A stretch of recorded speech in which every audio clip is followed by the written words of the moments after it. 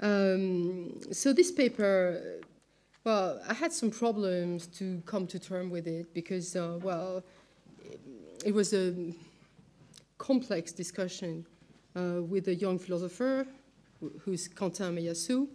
Um, so I already gave two versions of this paper, uh, one in England and the other in the States. But uh, so each time a bit different. Tonight you'll have the definitive version as um, this has um, appeared as a book chapter. My book, which, uh, which just came out in France under the title Before Tomorrow Epigenesis and Rationality. So, this is um, a chapter of that book. And the title is Can We Relinquish the Transcendental? Is contemporary continental European philosophy preparing itself to break with Kant. An attack upon supposedly indestructible structures of knowledge is happening today. Finitude of the subject, phenomenal, given, a priori synthesis. Relinquishing the transcendental, such is the leading project of post critical thinking in the early 21st century, as it appears in Quentin Meillassoux' book, After Finitude. So that's why I've decided to entitle this talk, uh, Can We Relinquish Transcendental? Um, so I will discuss in that, uh, in my paper, I will discuss After Finitude, and I will discuss the project of abandoning Kant himself, and I will ask myself whether it is possible to go on doing continental philosophy, European philosophy, as opposed to analytical philosophy once we've, um, we have uh, um, accomplished this relinquishing. So I'm starting with a quote uh, from Meillassoux. The primary condition to the issue I intend to deal with, with here is the relinquishing of transcendentalism. The French expression is l'abandon du transcendantal. And I think that, well, the translator uh, goes with the relinquishing of transcendentalism, but I think that it would be better to say the, the relinquishing of the transcendental, because what Meillassoux is talking about is le transcendental and not transcendentalism. As for relinquishing, the, the verb relinquish, it implies, I think in English, something softer, gentler than the French abandonner, abandon. Mm. Abandonment means a definite separation, whereas it seems that relinquishing designates more something like a negotiated rupture, a farewell that maintains a relationship with what it splits from. So whether Meillassoux, whether Meillassoux abandon, abandon means relinquishing or abandonment will be examined later. For the moment, I wish to insist upon the fact that he proposes very simply that we leave the transcendental, that philosophy to come in the 21st century has to leave the transcendental and consequently also Kant behind. So, what I intend to question here is this very gesture. Uh, can we relinquish the transcendental, and consequently also, can we relinquish Kant and Kantian philosophy?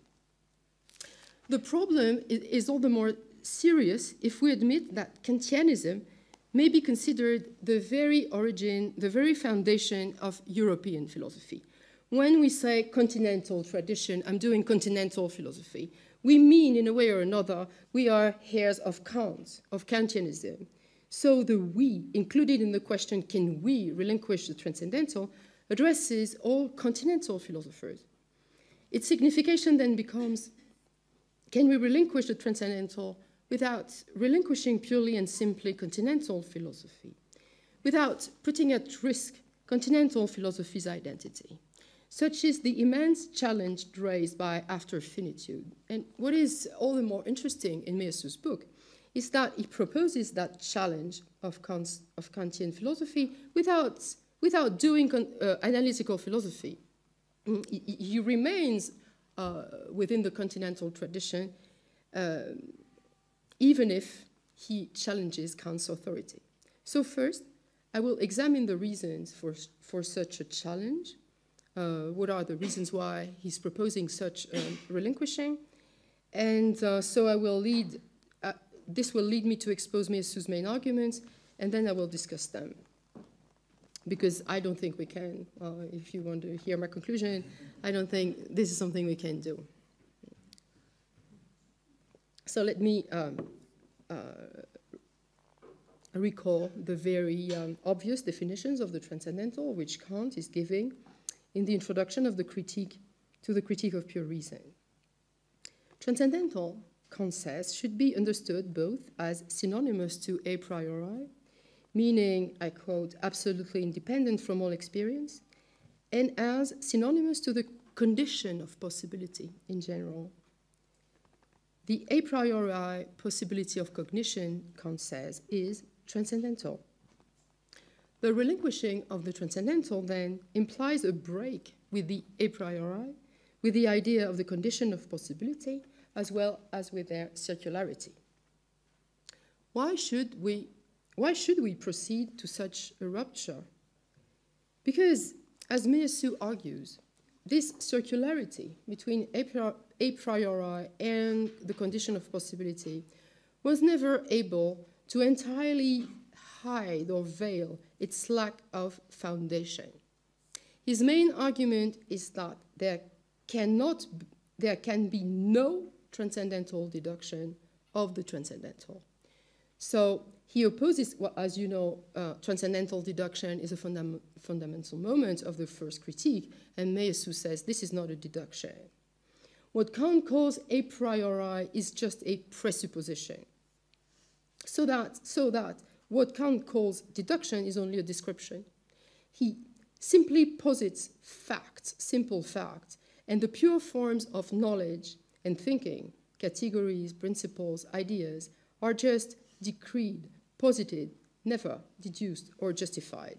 In Kant, Meillassoux argues, I quote, it is impossible to derive the forms of thought from a principle or system capable of endowing them with absolute necessity. These forms constitute a primary fact which is only susceptible to description and not to deduction. And if the realm of the in itself can be distinguished from the phenomenon, this is precisely because of the facticity of these forms, the fact that they can be only described. For if they were deducible, theirs would be an unconditional necessity that abolishes the possibility of their being an in itself that could differ from them. So again, the argument seems very simple. The transcendental in Kant is a fact. But at that point, um, might encounter an objection. Is it not an old question that he is addressing? How not to object that the bringing to light of such a facticity of the transcendental has already and often been done? Has not the transcendental already been relinquished, criticized, deconstructed in the name of its defective foundations? Examples of such approaches are numerous. I could, of course, immediately mention Hegel, but we can also take three examples very rapidly in 20th century philosophy before going back to Meillassoux Heidegger, Heidegger, Derrida, and Foucault. Heidegger, the vocabulary of the transcendental is still evident in Being and Time, as well as in the book Kant and the Problem of Metaphysics. The title of Being and Time's first part is The Interpretation of Dasein in Terms of Temporality and the Explication of Time as the Transcendental Horizon for the Question of Being. So, according to, well, it, it, at that period, originary temporality is still defined in terms of transcendental temporality.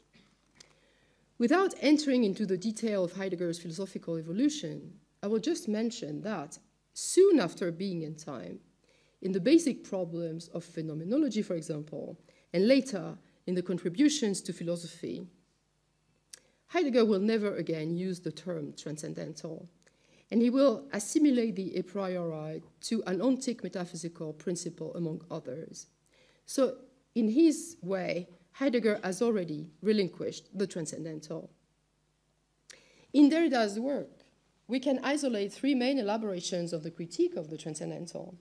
First, the deconstruction of the Husserlian concept of transcendental vécu developed in voice and phenomenon. Second, the critique of the transcendental signified developed in Of Grammatology, and third, the dismantlement of the notion of system in Glas, where Derrida writes, I quote, it is not always, is it not always an element excluded from the system which assures the system possibility of space? The transcendental has always been strictly a trans-categorical, that which could not be received, formed, and closed in any category internal to the system, the vomit of the system, end of quote.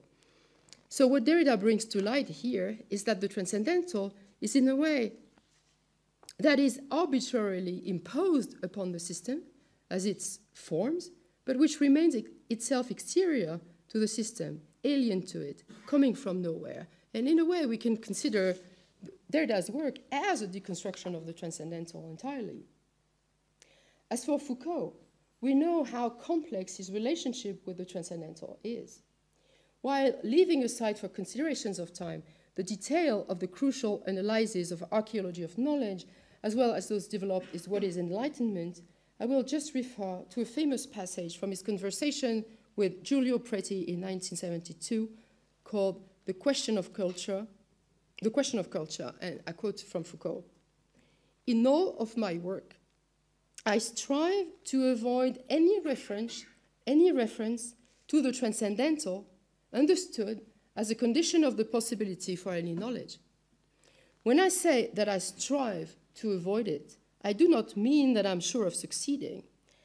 I try to historicize to the utmost, to historicize it to the utmost, to leave as little space as possible to the transcendental. I cannot exclude the possibility that one day I will have to confront an irreducible residuum, which will be, in fact, the transcendental. So Foucault very clearly says, I'm doing everything I can to avoid the transcendental. So we see through these three examples, and I could have taken much more in the continental tradition after Kant, we see that in fact the break with the transcendental, to use another of Meillassoux' terms, is not exactly a new and unexpected gesture. Mm, it is already inscribed in what already appears as a tradition. Nevertheless, to come back to the distinction between relinquishing and abandoning, if there's one, I would say, contradicting Meillassoux' translator a little, that Heidegger, Derrida, and Foucault are relinquishing the transcendental, are negotiating the, well, the, the um, giving up of the transcendental, whereas it seems that Meillassoux definitely, abruptly abandons it. Continental philosophers until now, however violent their reading of Kant, however radical their critique of the transcendental, seem to have always preserved or maintained something of it in the end, even if it's not technically Kantian. Even if they call it, as Derrida, the quasi-transcendental. Because even if transcendental is too metaphysical or technical a term, it nevertheless circumscribes what may be seen as the minimal creed of continental philosophy.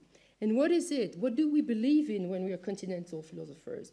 We believe in the existence of a set of structures uh, of both theoretical and practical experience that are irreducible to two extremes to empirical material data on the one hand, and to purely formal logic entities of procedures on the other a set of concepts that allow the real to exist and which could not exist without the real. I think that Foucault uh, gave the most satisfying definition of the transcendental in the archaeology in another article called On the Archaeology of the Sciences.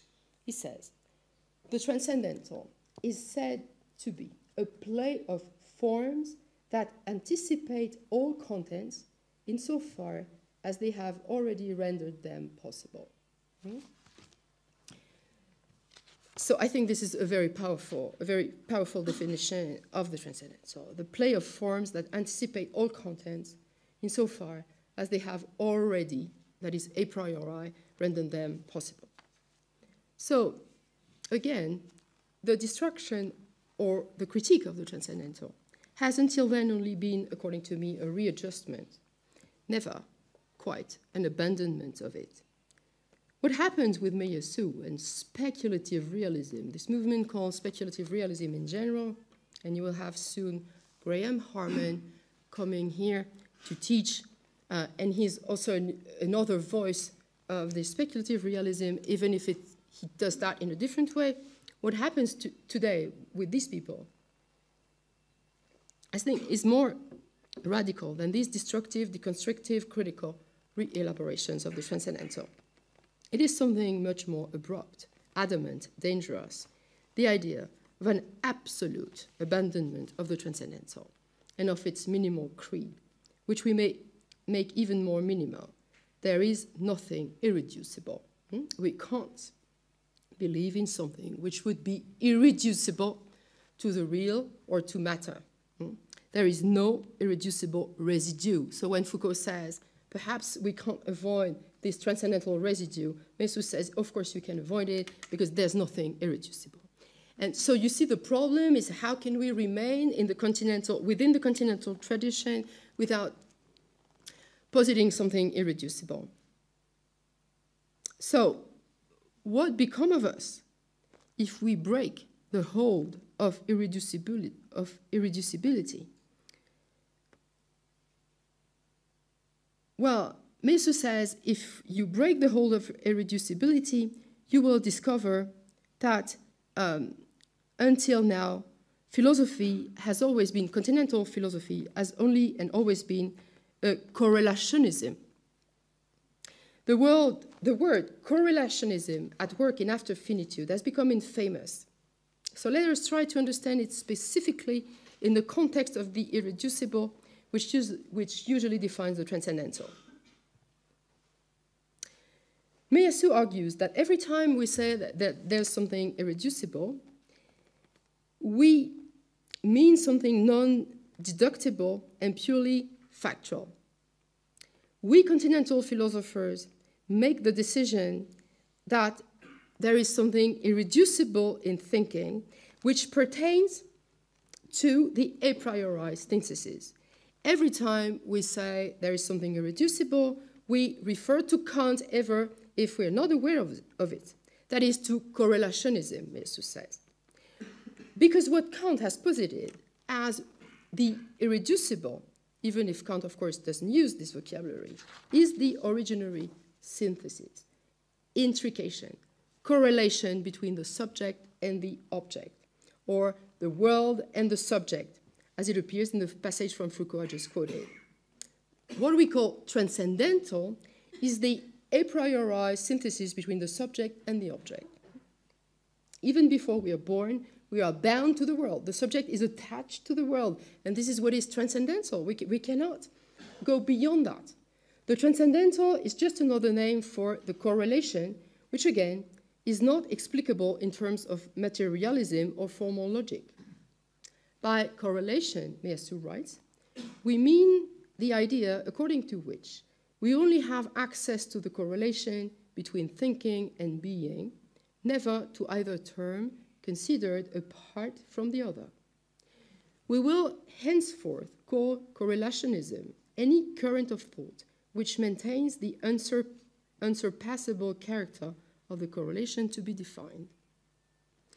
Correlationism consists in disqualifying the claim that it is possible to consider the realms of subjectivity and objectiv objectivity independently of one another. So again, what Kant calls transcendental would be the a priori conjunction correlation between the subject and the world, which for Meillassoux is presupposed and never deduced.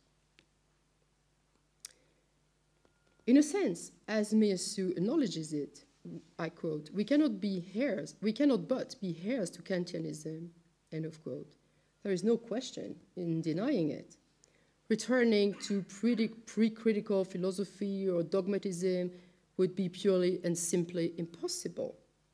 But what appears as one of the main challenges of our philosophical time is the task to elaborate a genuine post-critical position, which is a non-synthetic position, without, without it pertaining to analytical philosophical either. So can we go further the synthesis? Can we stop thinking in terms of correlationism without going back to a pre-critical state and without uh, merging with analytical philosophy either? In order to explore in a more detailed way the critique of correlationism, I chose two lines of analysis among the most radical of the book. First, uh, Meillassoux' critique coincides with an unprecedented, movement of dispossession and expropriation of subjectivity. So, what does that mean? To, to expel subjectivity from philosophy. And second, it leads to elaborating a new concept of alterity, an alterity other than that of the utterly other. And for me, the book is really powerful because of these two, for these two reasons the ex expelling of subjectivity and the new concept of alterity, which uh, follows from it. So before I, I, come to my critique, I would like to uh, praise these two points and, and to expose them for a moment. To relinquish the transcendental imply, implies a neutralization of the proper and of the notion of property.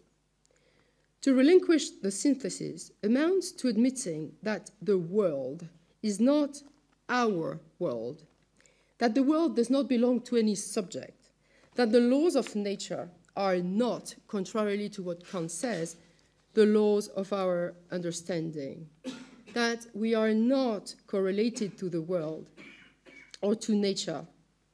Nature does not belong to us.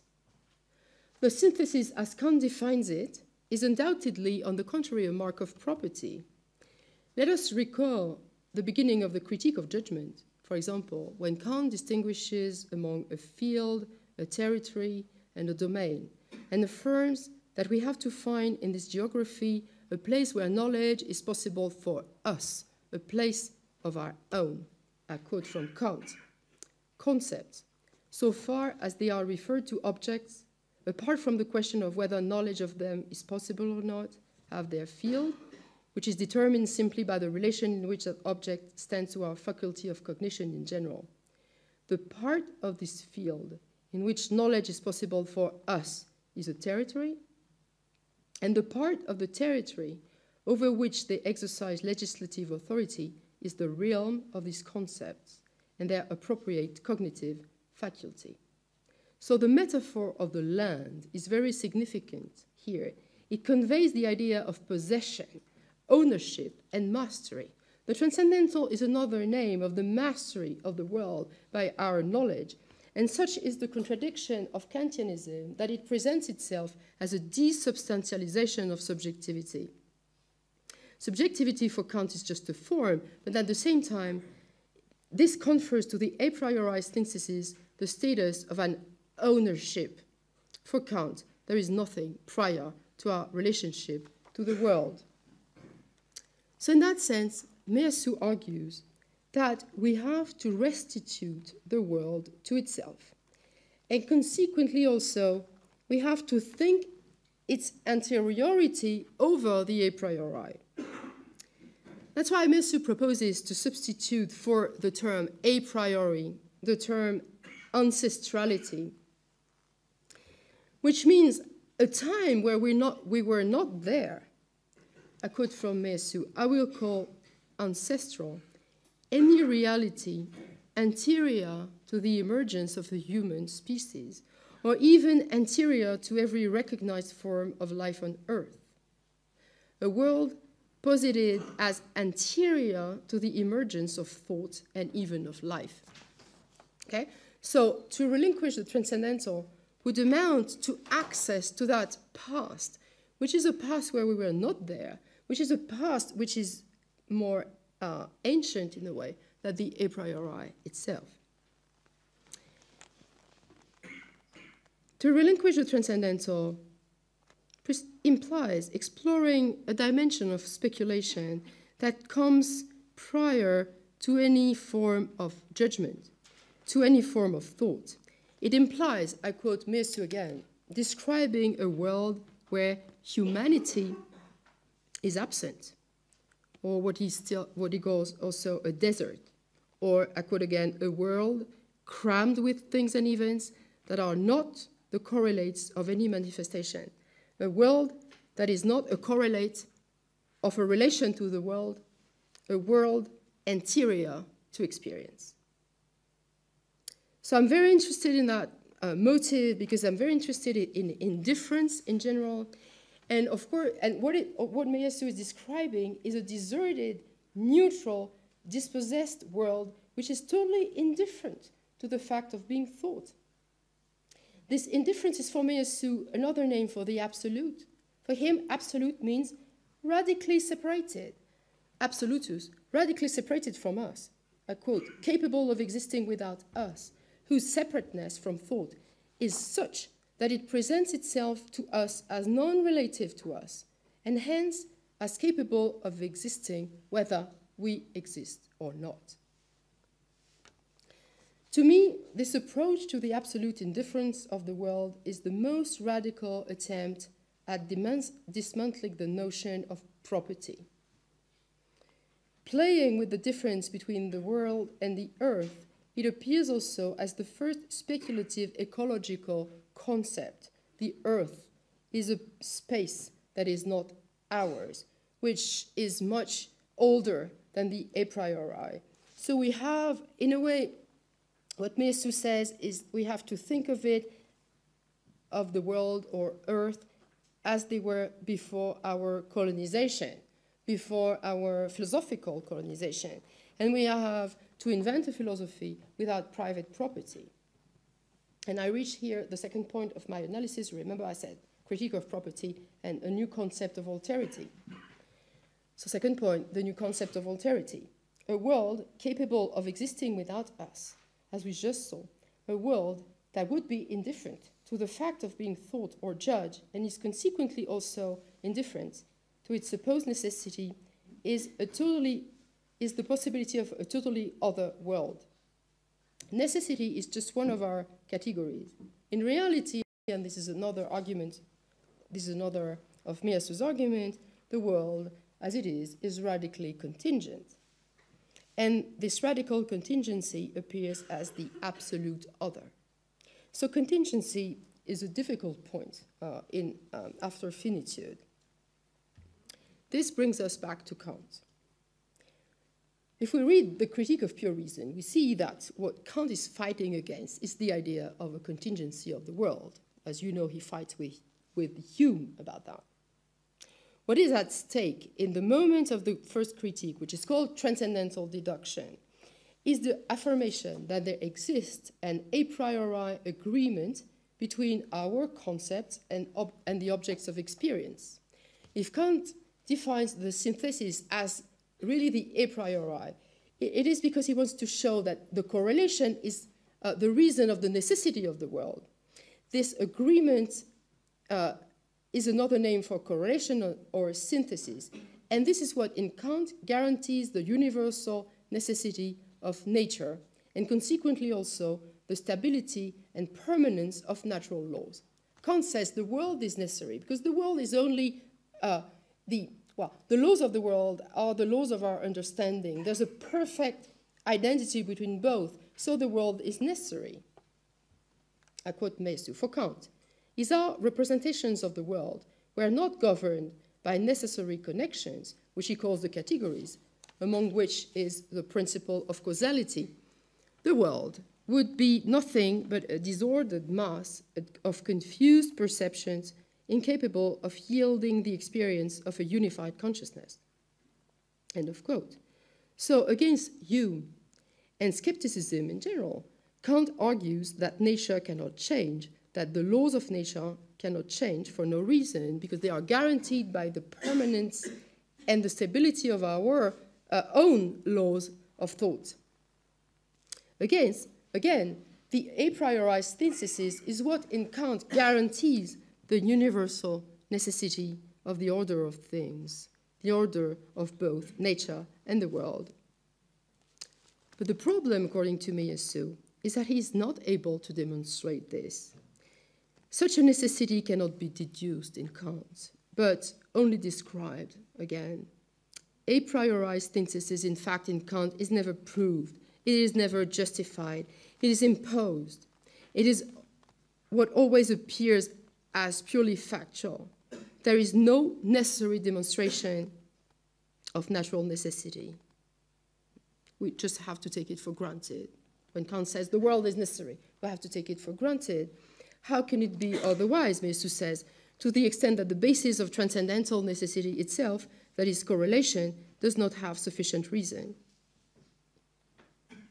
Facticity, Meillassoux writes, just consists in not knowing why the correlational structure has to be thus. No one in continental philosophy will ever be able to justify why we have to start with the correlation between the subject and the object. Hmm. According to Meillassoux, there has never been a justification of that. Hmm. The relation subject-object is contingent. It has never, never, be, never been proved. Contingency alone is necessary, then, Meillassoux says. If we cannot prove the necessity of the correlation between the subject and the object, it means that everything is contingent. In that sense, Meillassoux argues, I go on with the demonstration, Kant never solved Hume's problem. Skepticism is not overcome, in fact, by criticism. What is Hume's problem? Hume sa says Hume's problem can be formulated as follows, and you know that. Is it possible, Hume asks, to demonstrate that the same effect will always follow from the same causes? And this question concerns the capacity of physics to demonstrate the necessity of the causal connection and consequently the permanent stability of natural laws. That the world might radically change that the laws of physics might be totally contingent, that the same effects could not follow from the same causes, is the hypothesis that Kant adamantly rejects. Of course, we can prove that the same effects will follow from the same cause because the subject and object are correlated. And because we can prove that from this connection. But Meillassoux says, yes, but you cannot demonstrate it. So because you, you're not able to provide the necessary demonstration of this causality, in fact, the transcendental negatively reveals the very existence of what it disavows, that is skepticism. Its deduction is its destruction. Why not then reveal what Kant is hiding? That is the very problem of continental philosophy since the beginning, which is absolute contingency. That is also absolute otherness. Why do we want to hide skepticism, to hide from, to hide away from skepticism? Why not recognizing as our problem? And what is contingency? What is radical contingency? What is absolute contingency? This is absolute otherness, and this, this is why um, I was announcing that Meillassoux is also uh, proposing a new concept of alterity. Contingency, Meillassoux writes, I quote, refers back to the Latin contingere, meaning to touch, to befall, which is to say that which happens, but which happens enough to happen to us. The contingent in the world is something that finally happens, some, something other, something which, in its irreducibility to all pre registered possibilities, puts an end to the vanity of a game where, wherein everything, even the improbable, is predictable. So, to summarize, what is the contingent? The contingent is the radically other. A speculative concept of contingency demands that we radically distinguish between contingency and chance. When Meillassoux talks about contingency, uh, it's not, uh, it is not chance which also means that the contingency of natural laws remains, I quote, inaccessible to aleatory reasoning.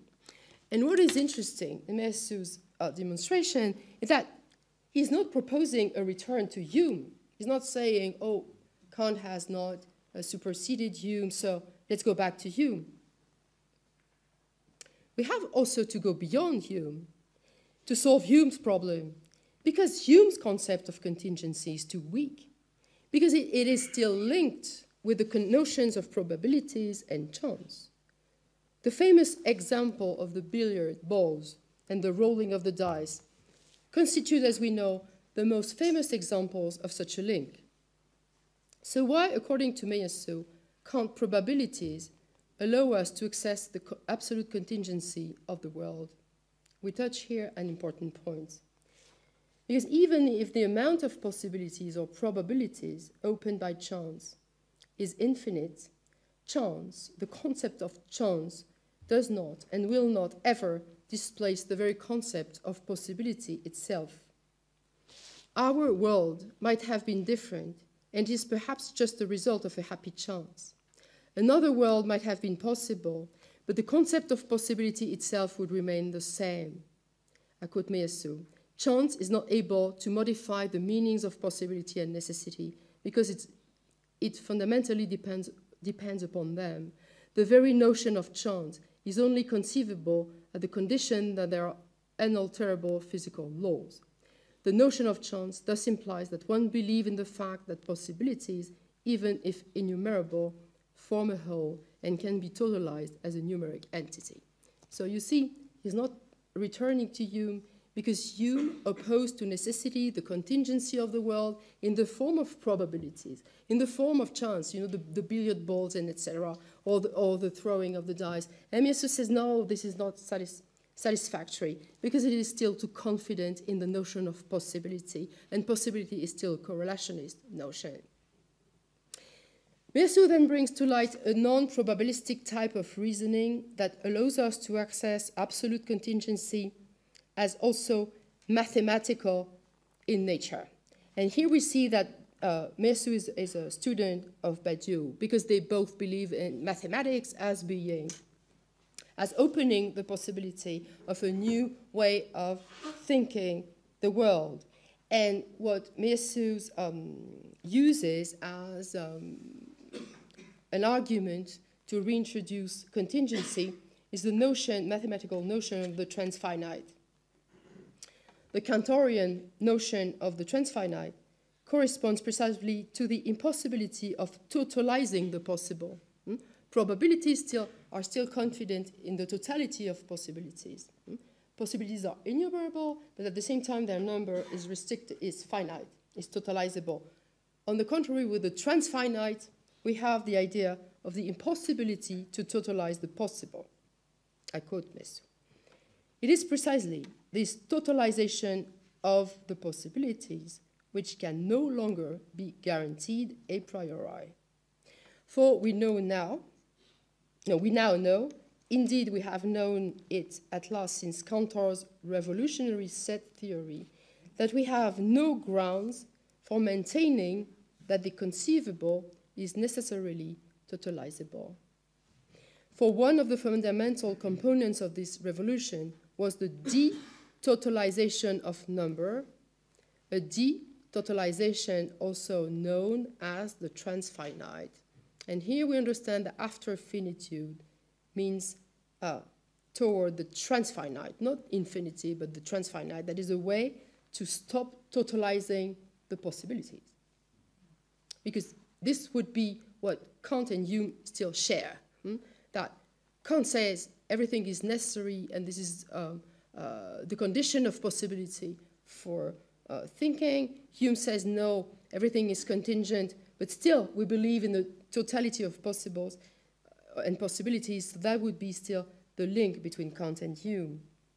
We have to um, elaborate on something which would be the impossibility to totalize the possibilities.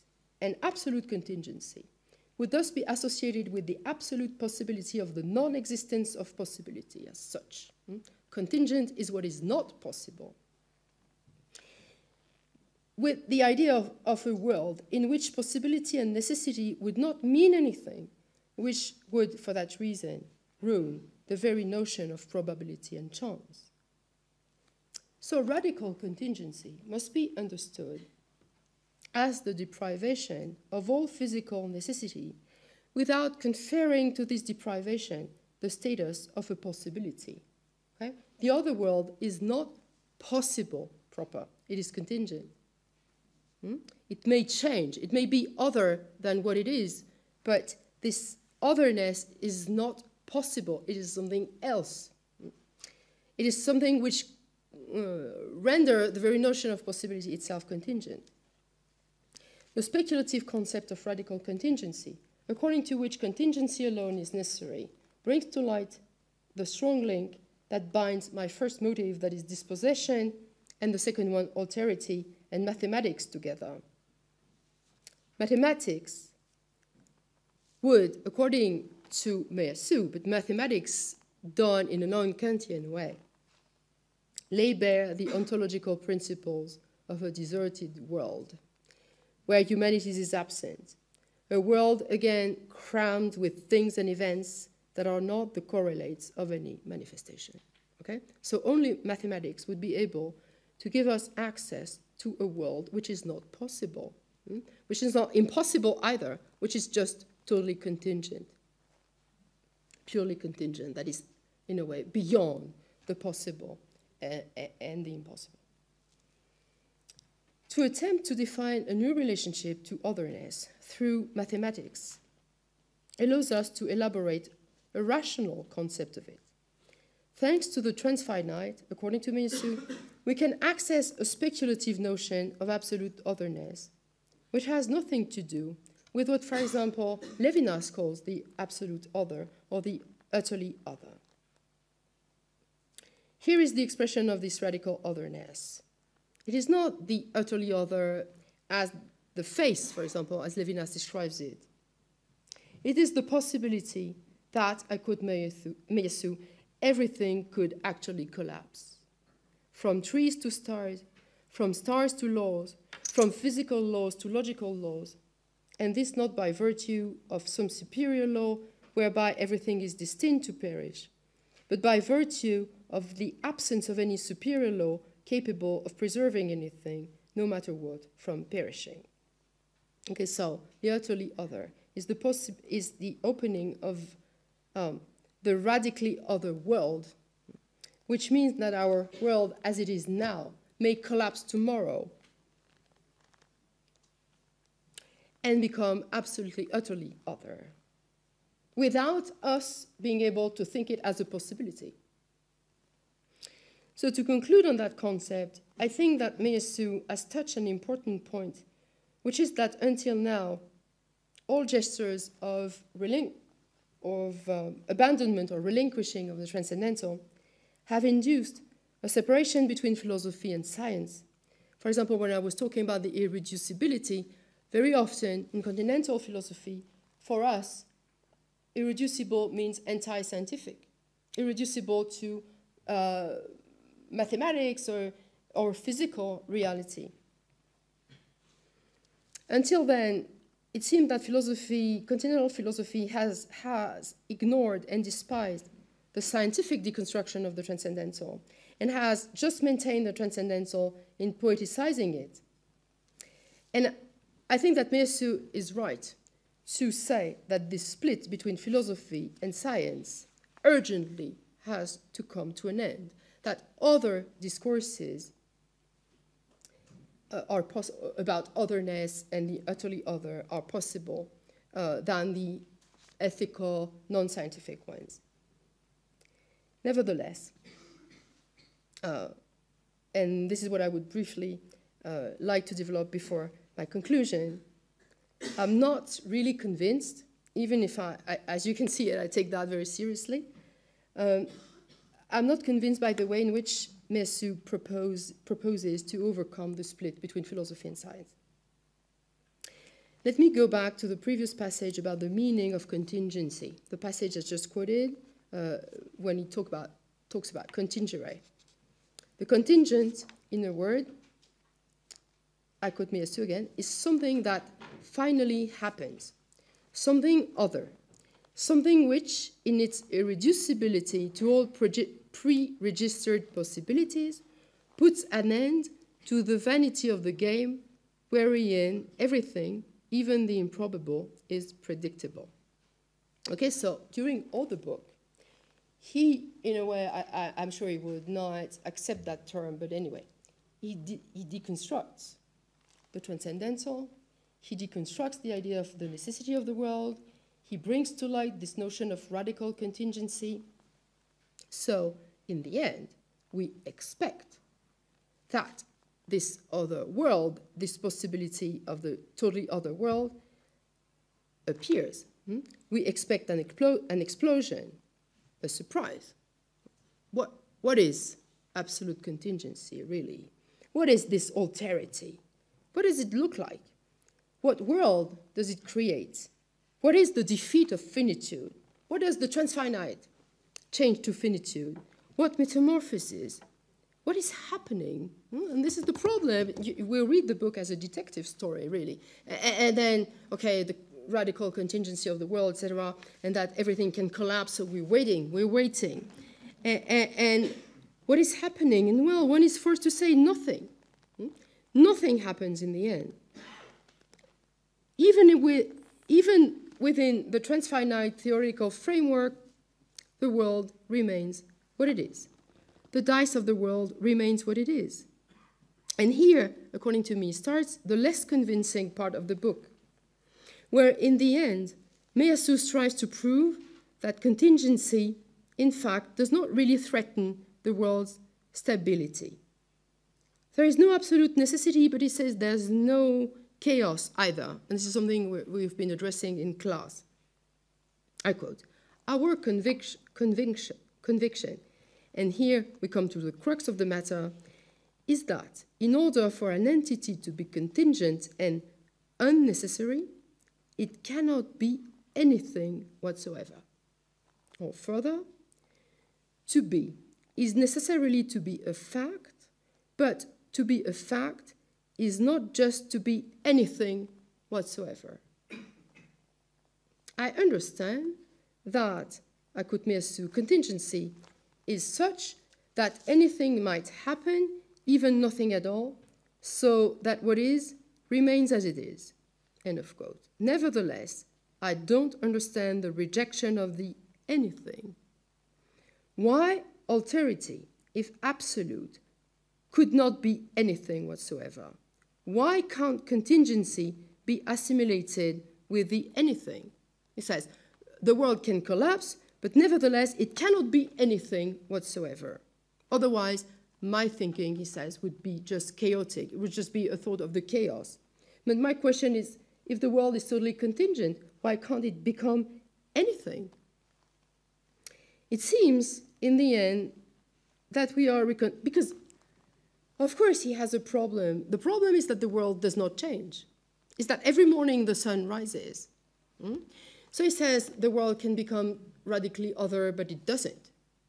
Okay? So he has to justify that. You know, at the end of the book, he says, oh, okay, contingency is uh, absolutely open, but then how come that the, the sun is rising every morning? Well, because, uh, because, uh, because the world cannot become anything.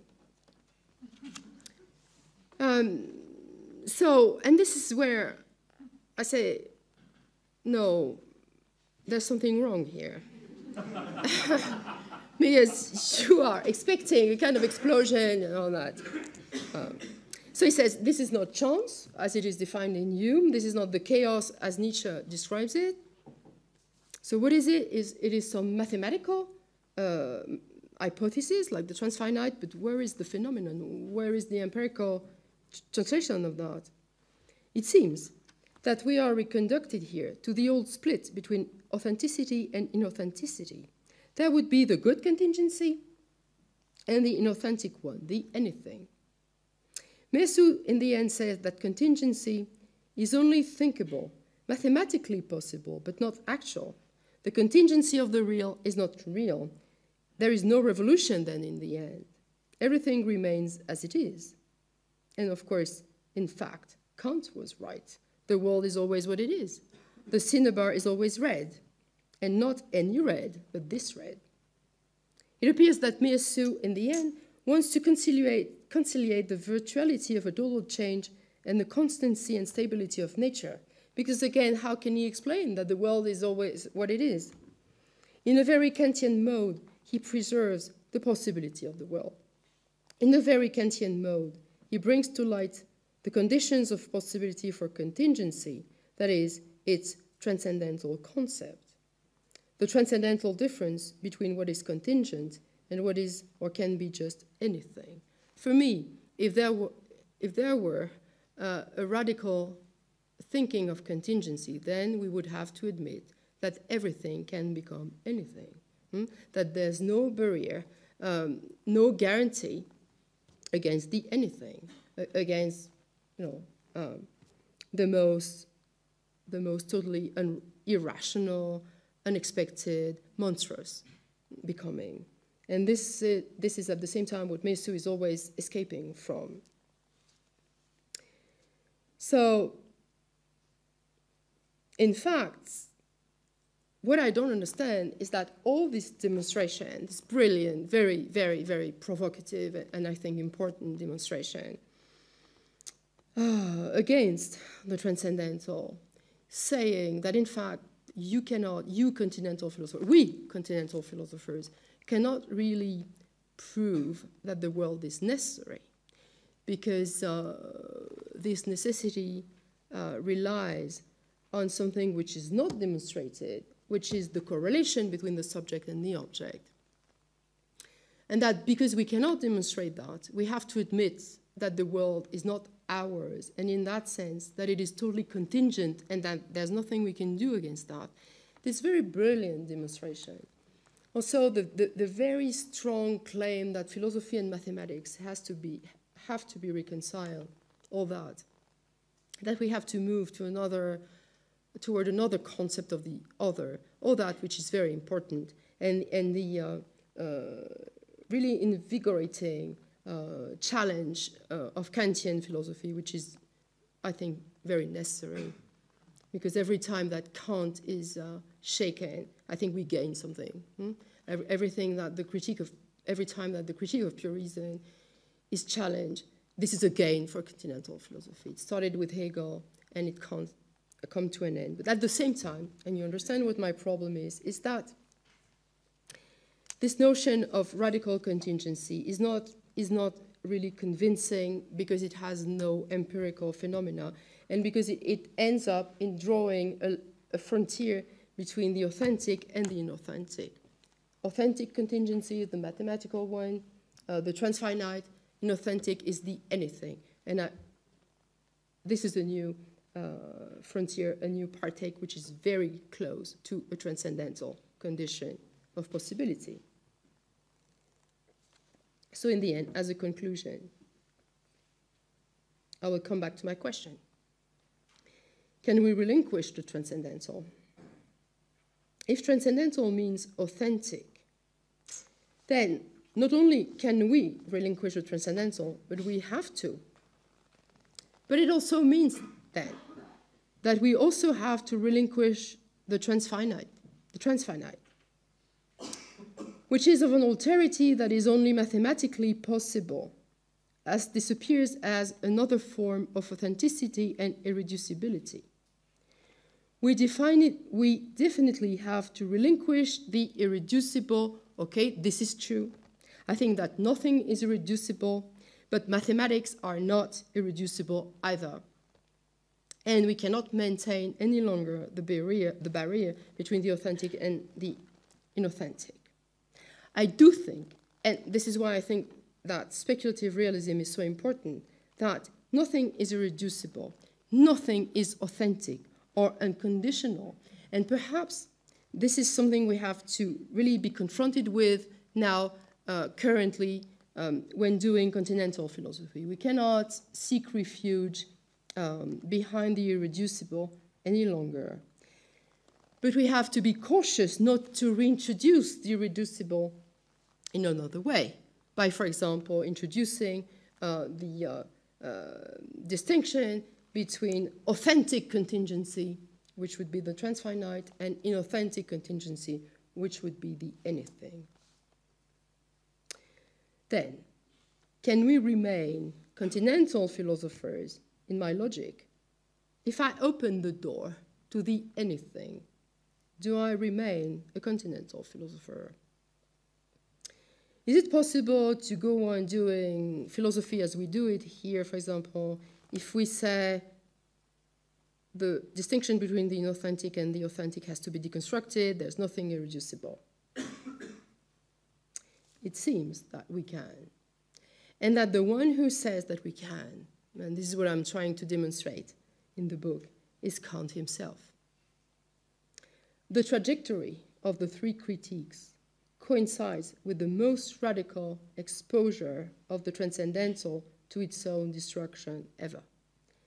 When Kant deals with the living being in the third critique, in the second part of the critique of the power of judgment, he deals precisely with the non transcendental, which is something that refuses to be judged or thought, which is self sufficient, which prevents us to assign a reason to it, and this is the living being. Kant then comes to the conclusion that there are two types of necessities, mechanistic and teleological.